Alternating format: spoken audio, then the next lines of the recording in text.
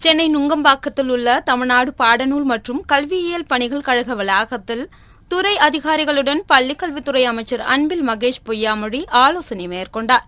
இதன் பின்னர் செய்தியாளர்களை சந்தித்து பேசிய அமைச்சர் பனிரெண்டாம் வகுப்பு மாணவர்களுக்கு மதிப்பெண் கணக்கீட்டு முறைக்கு பனிரண்டு முறைகள் பரிந்துரைக்கப்பட்டதாகவும் அதிலிருந்து இரண்டு முறைகள் தற்போது எடுத்துக் கொள்ளப்பட்டு அறிவிக்கப்பட்டுள்ளதாகவும் கூறினார்.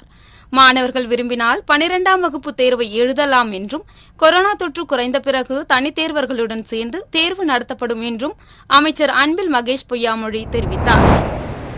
இந்த மாதிரி சூழ்நிலையில் இதுக்கு எப்படி எவாலுவேஷன் பண்ணணும் அப்படின்றதுக்காக மாண்புமிகு தமிழகத்தினுடைய முதலமைச்சர் அவர்கள் ஒரு கமிட்டியை முதல்ல உருவாக்குனாங்க. Principal secretary of the department school education department commissioner அதே போல் நம்முடைய மெட்ராஸ் யூனிவர்சிட்டியினுடைய வைஸ் சான்சலர் மூன்று பள்ளிகளுடைய தலைமை ஆசிரியர்கள். ஒரு தலைமை ஆசிரியர் வந்து கவர்மெண்ட் ஸ்கூலு ஒரு தலைமை ஆசிரியர் ப்ரைவேட் மெட்ரிகுலேஷன் ஸ்கூலை சார்ந்தவங்கள் இன்னொருத்தவங்க கவர்மெண்ட் எய்டட் ஸ்கூலை சார்ந்தவங்க. இவங்க எல்லாத்துடைய கருத்தின் அடிப்படையில் ஏறத்தாழ ஒரு பன்னிரெண்டு மெத்தட் டிரைவ் பண்ணாங்க. அந்த பன்னிரெண்டு மெத்தடில் அதில் உட்காந்து டிஸ்கஸ் பண்ணி டிஸ்கஸ் பண்ணி அதை ஒரு இரண்டு மெத்தடுகளாக குறைத்து அந்த ரெண்டு மெத்தடை நேற்று நம்முடைய மாண்புமிகு முதலமைச்சர் சீஃப் செக்ரட்டரி டிபார்ட்மெண்ட்டுடைய பிரின்சிபல் செக்ரட்டரி கமிஷனர் அந்த குழுவை சார்ந்திருக்கிறவரோடு சேர்ந்து நாங்களும் அமர்ந்து அதுக்கான அந்த விவாதத்தில் ஈடுபட்டோம்.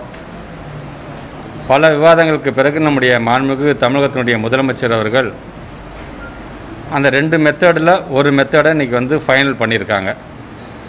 அதற்கான செய்தி குறிப்பு தான் இன்றைக்கு தலைமையிலிருந்து வெளியிடப்பட்டிருக்கின்றது.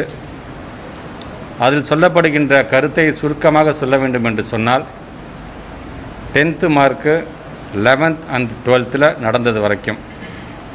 இதை ரெண்டு மாடியூலாக பிரிச்சுக்கிறோம். டென்த்து மார்க்குக்கு எப்படி வெயிட்டேஜ் கொடுக்குறோன்னா ஐம்பது சதவீதம். மற்ற ரிமைனிங் ஐம்பது சதவீதம் என்பது லெவன்த்தையும் டுவெல்த்தையும் உள்ளடக்கியது. அதில் லெவன்த்துக்கு இருபது சதவீதமும்.